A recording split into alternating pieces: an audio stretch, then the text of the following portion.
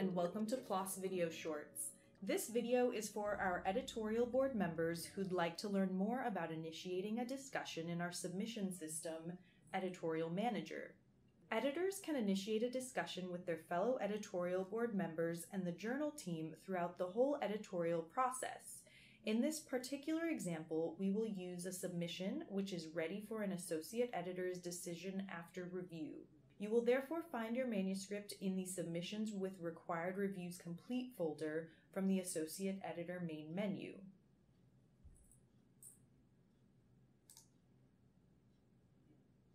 Look to the action links in the left-hand column of your manuscript and select the Initiate Discussion link.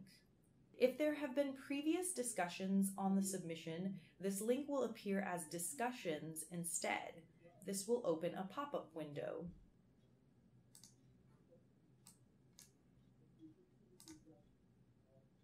First, enter your topic, which is synonymous to the subject line of an email, and then enter the body of your message in the field Initial Comments.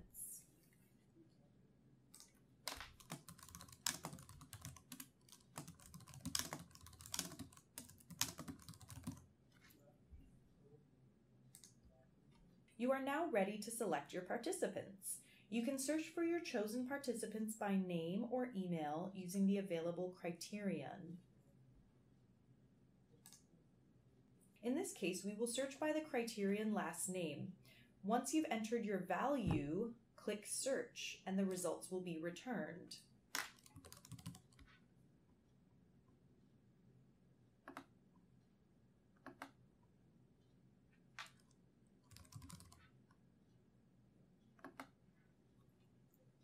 Please check that the participants are available by taking a quick look at the availability column on the right hand side. Once you're ready to proceed, select your participant by checking all the available tick boxes. This will grant mm-hmm. discussion participants full access to the submission, including the manuscript, reviews, and draft decision letter.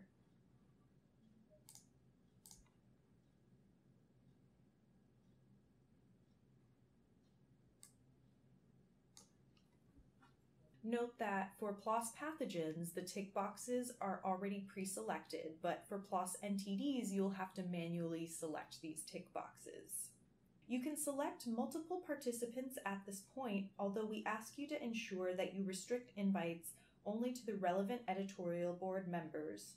We would also recommend always including a member of the journal team as well. For PLOS pathogens, you will loop in the staff account by searching with the last name criterion staff. Once you have selected your participants, click Proceed to Customize Letters.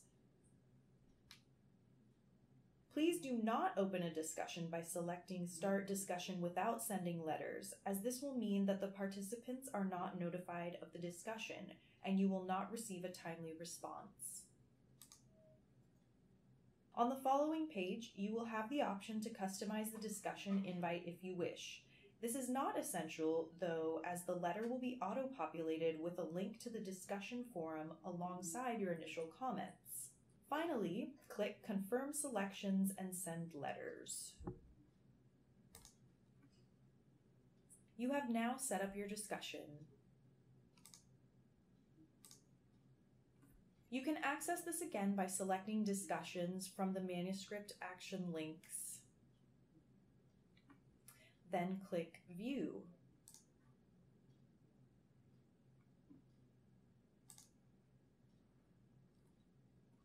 On the following page, you have the option to add a new comment to the discussion, add new participants, and view the materials associated with this submission.